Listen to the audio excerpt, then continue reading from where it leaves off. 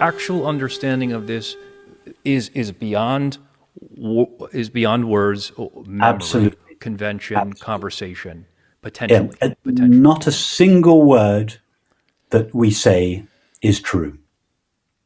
If we want to speak the absolute truth, we should remain silent.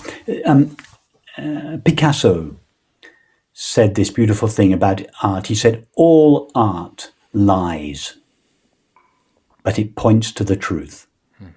All spiritual teachings, however finely they are expressed, if you're minded to do so, you can find fault with them.